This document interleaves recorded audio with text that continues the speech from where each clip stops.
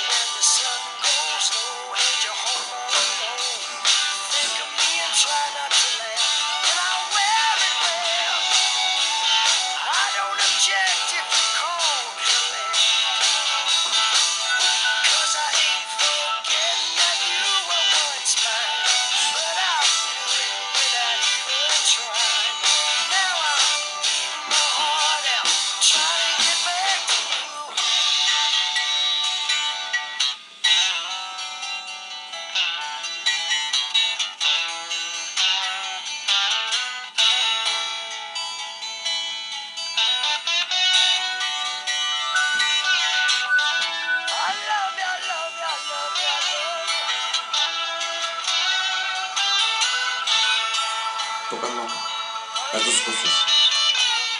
Piano, órgano, guitarra.